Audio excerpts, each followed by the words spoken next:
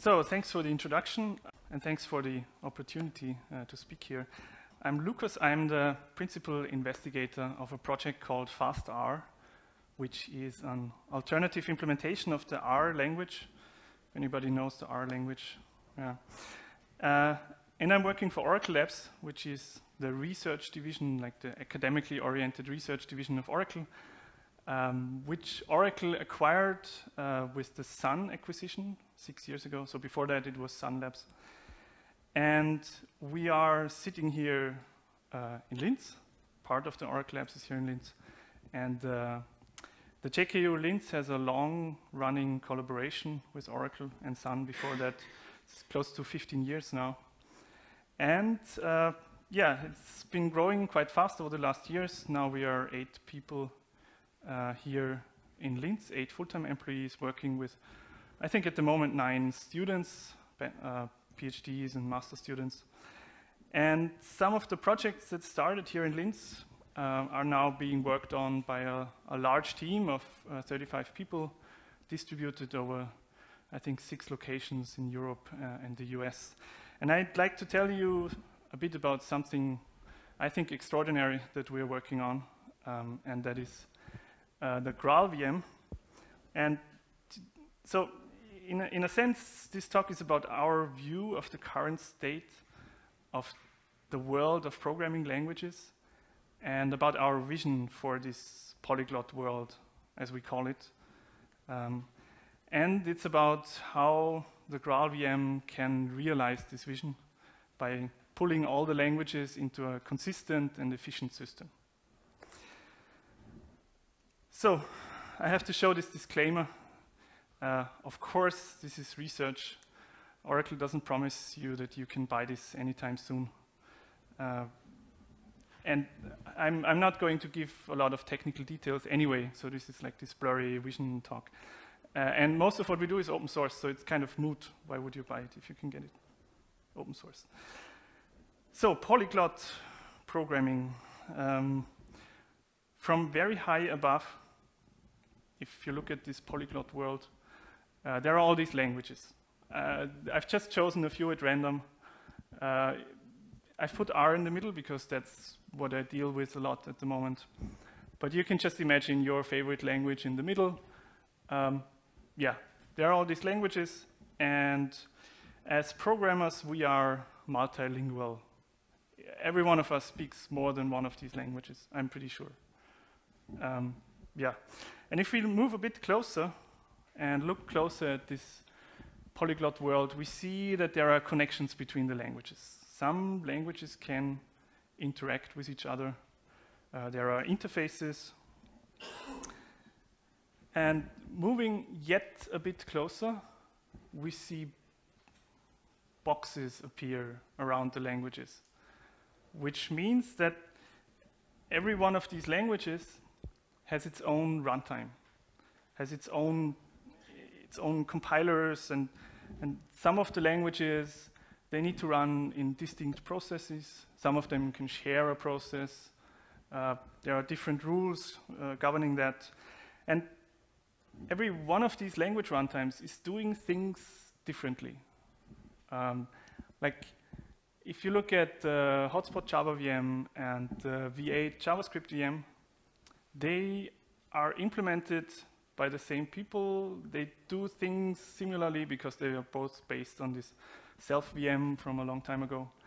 But still, they are incompatible uh, in, in, yeah, they, they have differences in incompatible ways. And in, in each of these boxes, there's also like a, an army of compiler engineers and VM engineers. And they are creating their compilers and their tools and their debuggers and everything uh, for their box, kind of. Um, and making sure that their system works as good as possible. But there are no optimizations across the boundaries. Um, sometimes you have tools that cross the boundaries, but this is, yeah, the exceptional case and not the, the normal case. So this is, for a developer using all these different languages, this is a, a real and fundamental problems, uh, a fundamental problem. And essentially, you could say that each of these language runtimes has its internal protocol, which I symbolized here with these small figures. And that also means that each interface between two languages is something very unique and something that is different from all the other interfaces. So the, the interface between C and R works completely different than the interface between Java and R, for example. And that also, that also means that you need to learn the interface. And it also means that if you know, I don't know, Java, R, and C, this does not mean that you can write an application using Java, R, and C, because you have this additional level of complexity with the interfaces that you need to master before you can do that. I'd like to show a few examples of such interfaces, again chosen pretty much randomly.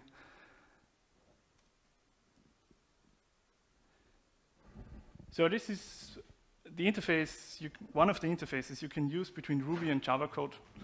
Um, it's a very nice interface because, well, Ruby is a very dynamic language, and you can the, the Java interface uses lots of magic to hide it to a certain degree from you that you're not actually in Java but in Ruby and can just call Java methods.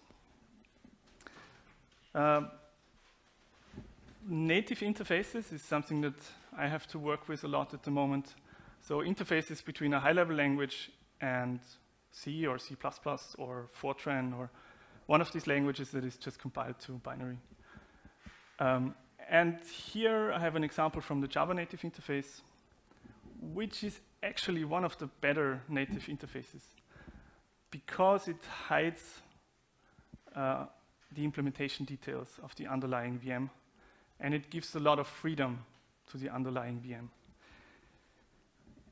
This freedom is bought at the expense of some performance overhead.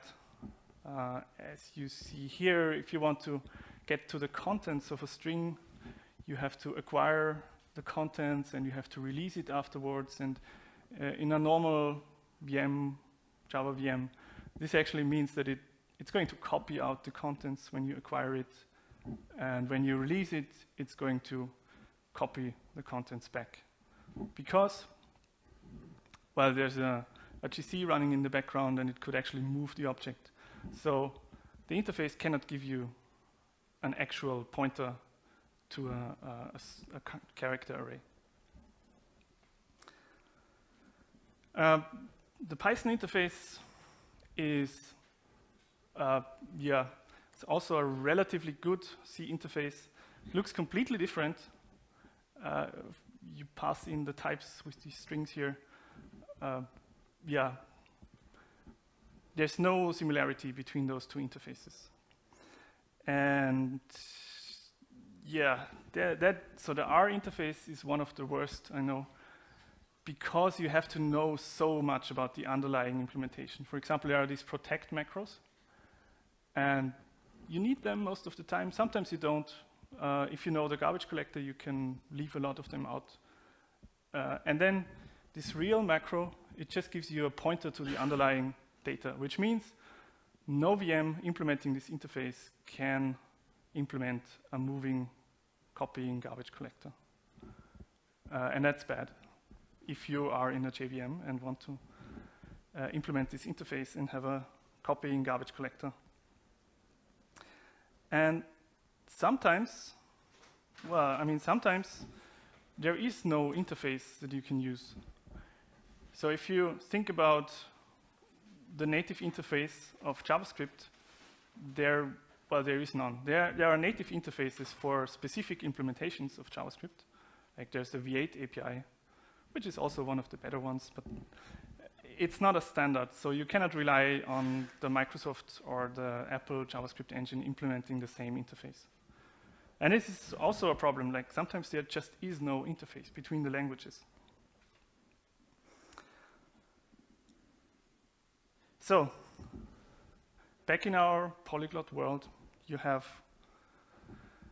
these languages and the interfaces between them, and every time you add a new language, you have an exponential growth in the number of interfaces because well, yeah, if I add a new language here and want to connect with all the existing ones, I have to add 11 new interfaces.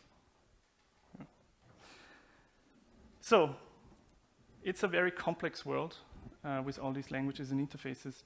And when you start a project or when you're given a task, you will ask yourself, how do I choose a language? How do I figure out what is the best language for the, for the thing that I'm creating right now? And ideally, you would, you would ask yourself, like, yeah, what is the best fit for this problem? Like, uh, which language allows me to implement this algorithm in the best way? Or which language is the most maintainable? Or, uh, well, which language do I like the most or, or know the best? But this is a nice sentiment. In reality, it's something different. In reality, you're going to um, you're going to have problems like, well, I know this is awkward to write in C, but if I don't write it in C and write it in R, then it's never going to be fast. Or you have situations where you, you would like to write a program in, in, in well, C, Python, and, and R, uh, but you just don't know how to connect these languages. So you're going to do something different. And yeah, in the end, there are suboptimal choices with respect to programming languages. And well, there are helpers uh, that you create for making things a little easier. But in reality, it's still the case that we made the choices for the wrong reasons. Uh, and we have to live with them.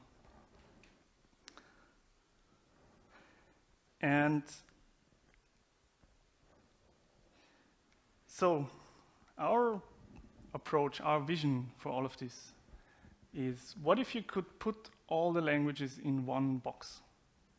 What if all the underlying runtimes worked the same? What if all the connections looked the same, worked in the same way? It would be far simpler to connect the languages. It would be, uh, it would be easier to learn the interfaces because there's only one way in which these interfaces work. And there would be no optimization barriers between the languages. So even though your program is written in C and R, it still gets the absolute best performance that is possible. And if we have all of them in one VM, then we can build tools that work for all the languages and across all the languages. I want to show you a bit what this could look like with a short demo.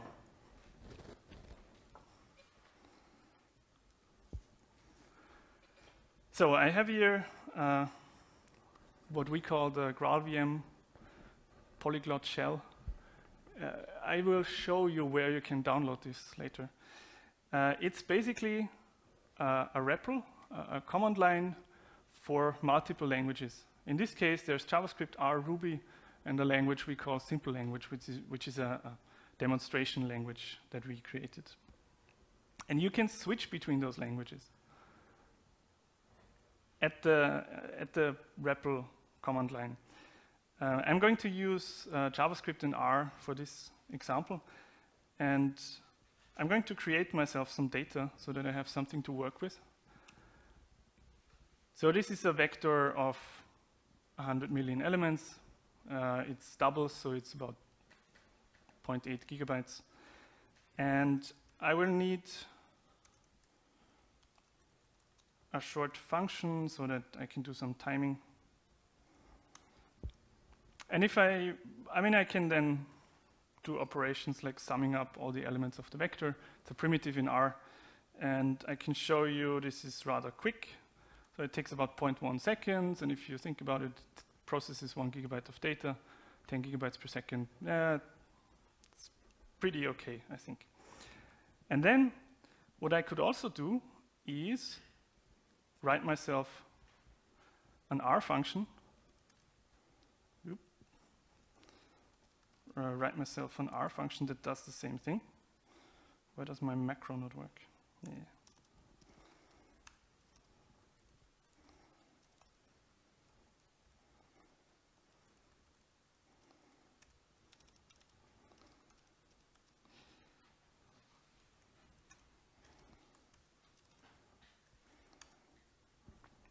Yes, so now I can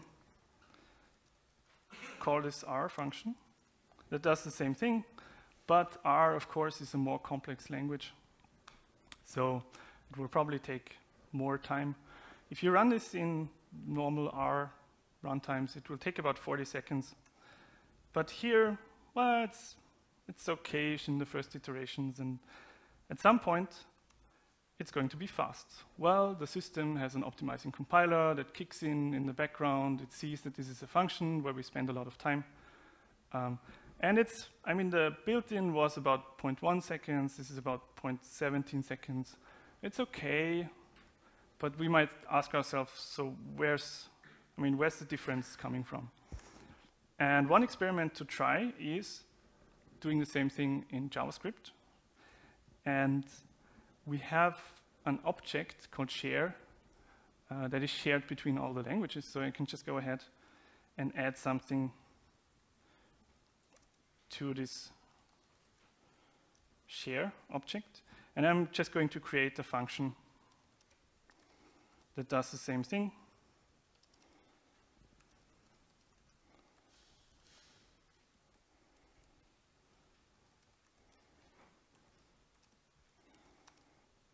So let's hope this is right.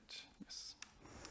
And then I can actually call this function from the R side. The syntax is a bit different because the dot has a different meaning in R. And in this case, I need to know that there is a prototype argument for JavaScript.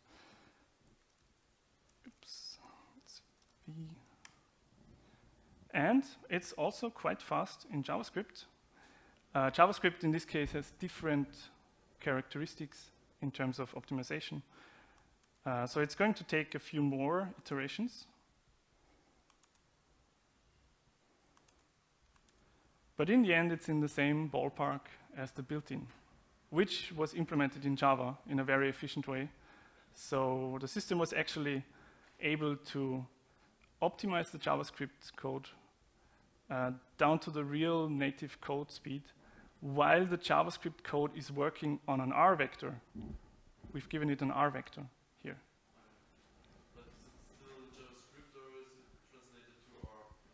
Uh, no, it's, this, it's, a, it's a fully ECMAScript 5 or 6, Six. compatible JavaScript engine uh, that's not translating anything to R.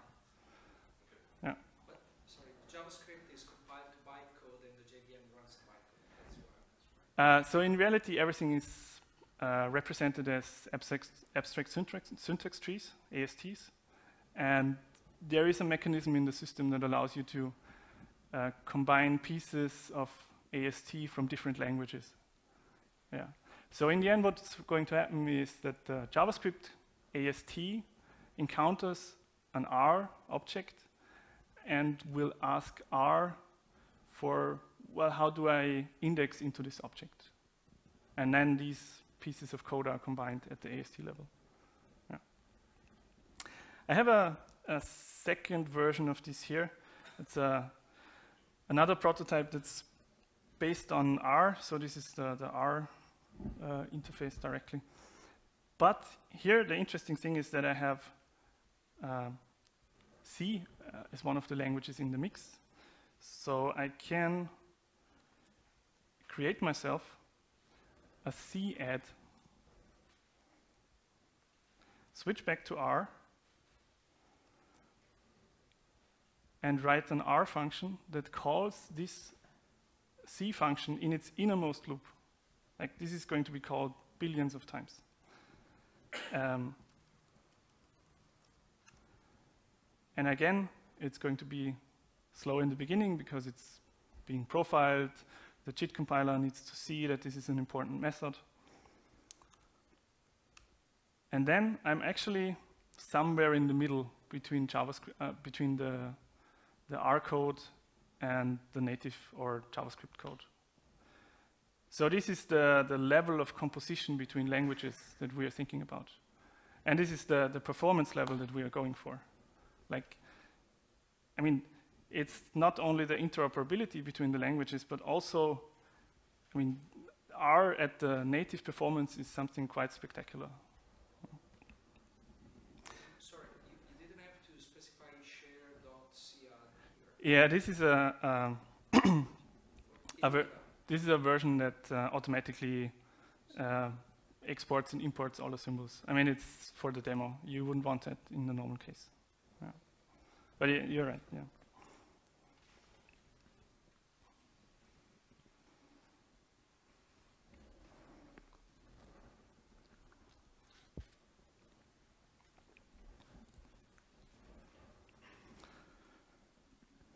So how do we do this? We do this with what we call the world's first competitive performance multilingual runtime stack. Um, it's yeah, our Graal and Truffle technologies that can do that. Um, every one of these languages is competitive in peak performance with the best of its class. Um, our Java runtime is at the speed of the server compiler or faster than that. Uh, the JavaScript implementation is comparable to V8. Um, the, the, Ruby implementation is also fantastic. Uh, R is, in some cases, 50 or 100x faster than the original R runtime. Um, and especially, this provides better performance than any other JVM-based solution, like, for example, on JavaScript.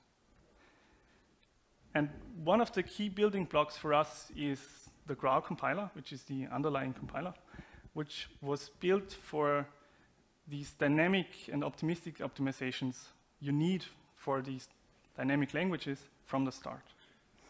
And it, all of this is based on a JVM. Um, and where it makes sense, we of course use Java technology. And it allows us to be very productive when developing this system. The the?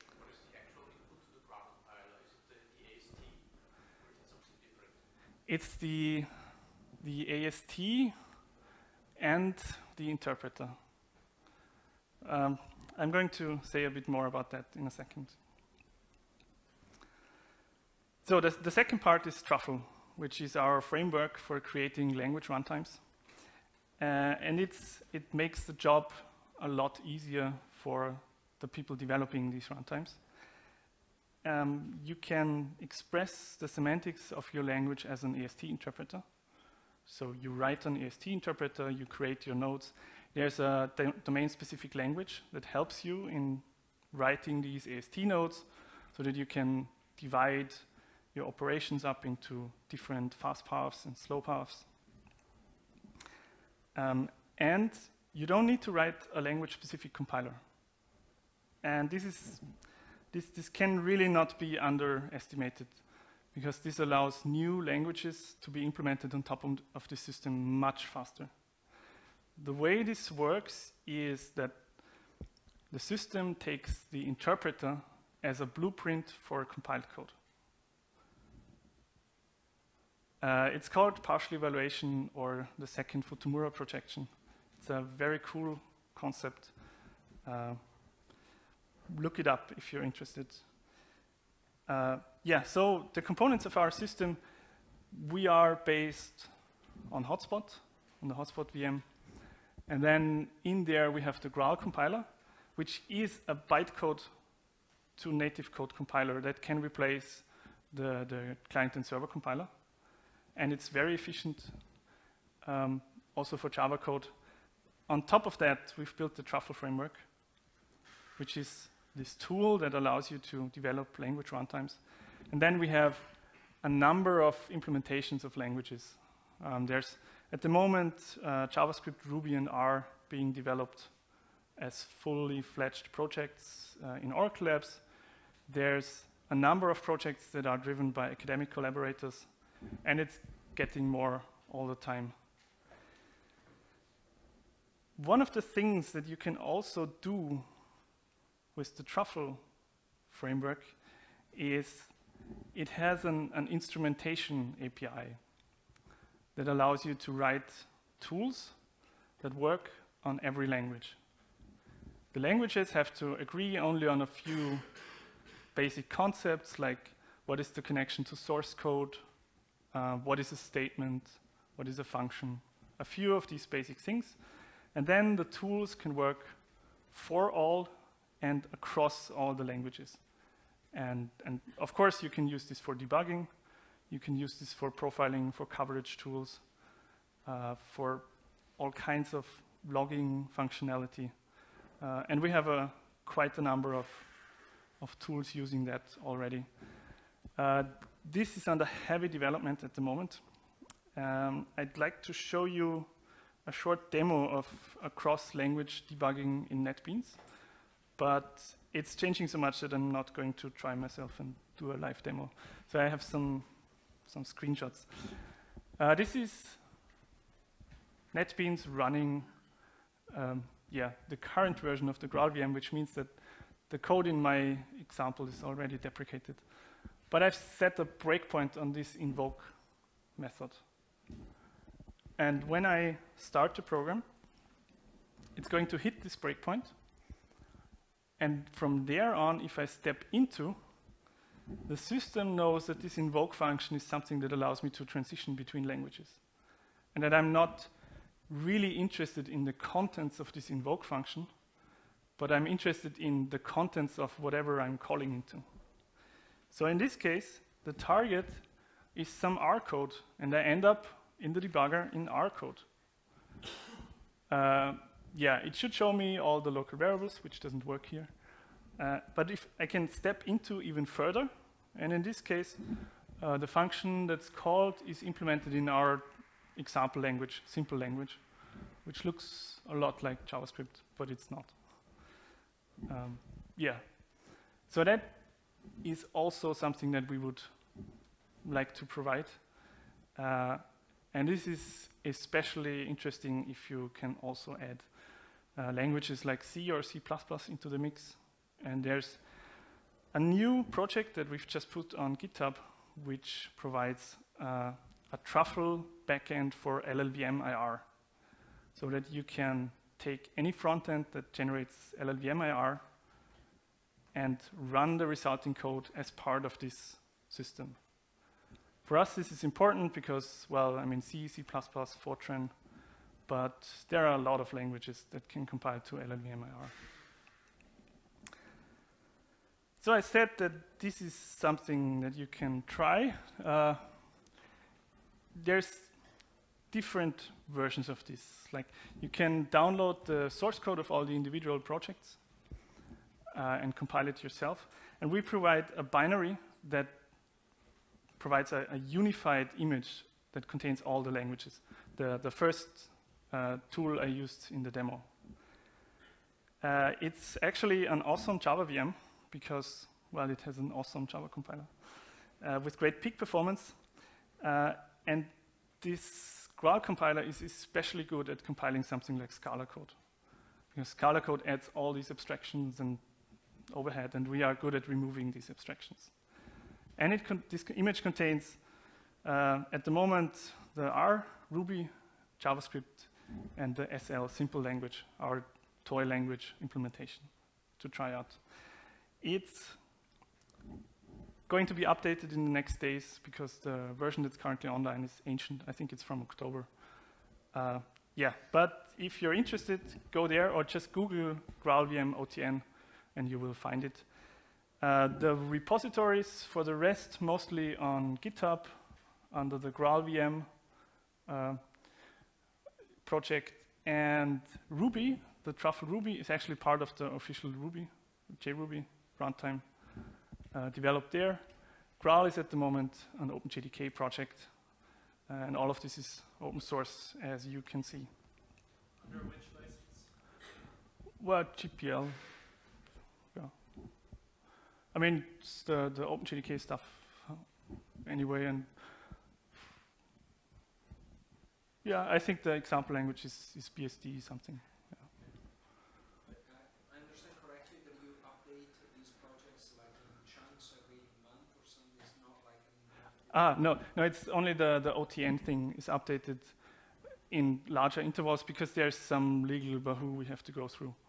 Uh, these are like yeah live repositories. Yeah, yeah, absolutely. Okay, so, and I'm already finished with enough time for questions. The one thing that I'd like to say here is also that the ambitions of this are very high. It's not just about this interoperability between the languages. Every one of these languages is aiming to be the, the best and awesomest implementation of the language that you can get. Uh, and then you have this interoperability added on top of that, which makes for a, a pretty amazing uh, package of technology. And yeah, maybe some of you will add a language at some point. Would be nice.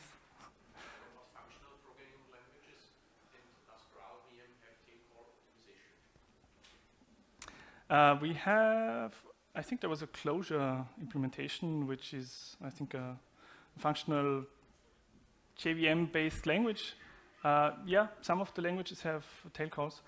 It's not implemented at the, at the VM level. It's implemented at the language level. Um, but that doesn't really make a difference. Yes, there are languages there that have tail calls. Yes. There's also an Erlang implementation Oh yeah, yeah. based on truffle. I mean, the implementa- when you say there's an Erlang implementation or uh, Haskell implementation, you mean that there is a truffle DSL for Haskell or for this particular language?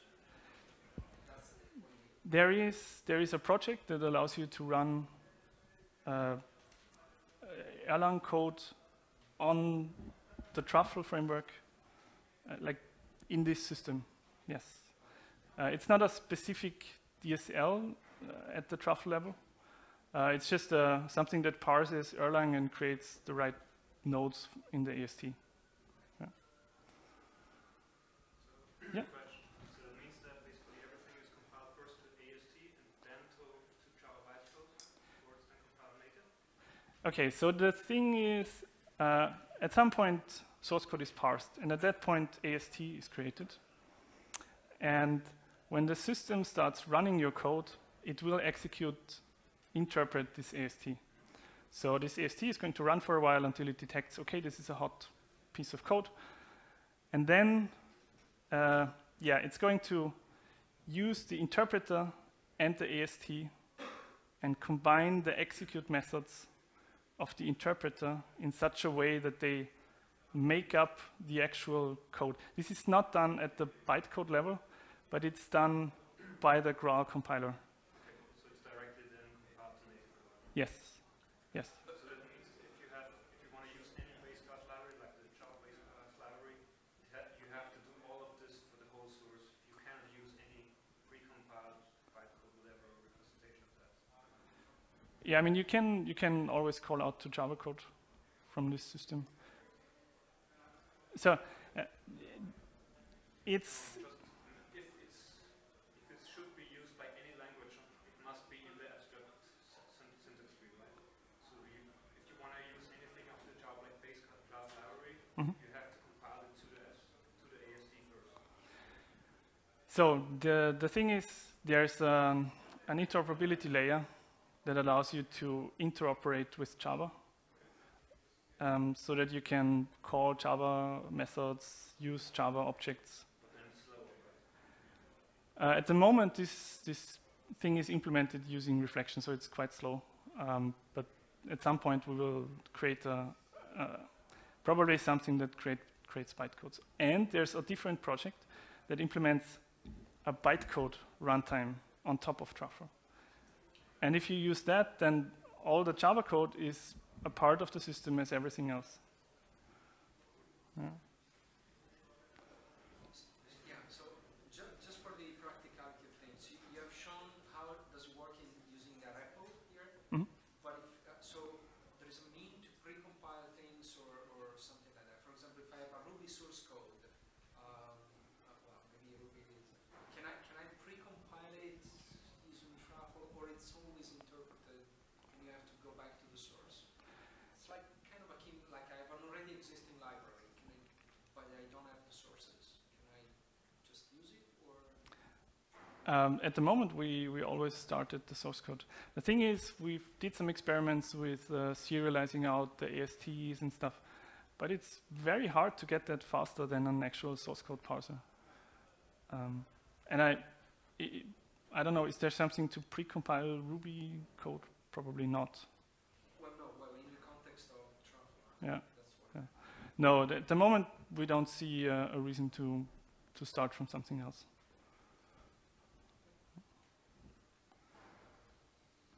Okay. Any? I, I don't know. Yeah. So the Graal compiler is actually integrated in Hotspot, like for all the garbage collection algorithm. and It's like it inserts uh, save points and, and everything like C2 does. Yes. C1. Yes. The the story is um, so the compiler needs to talk to the VM and it needs to agree with the VM on certain things, like how does a write barrier work. And there is an interface called the JVMCI, the Java VM compiler interface, um, which is the interface we've introduced. And this is starting, well, the newest uh, JDK 9 early access builds actually contain this interface. Um, and yes, Graal creates the write barriers for all the GCs and everything. That's interesting. So wait, you're saying that this interface was missing before, but this work actually uh, emerged from this work and was actually integrated in JDK. Yes, yes. It was called Graal API at some point. Okay, if there are no more questions, then thanks for your attention.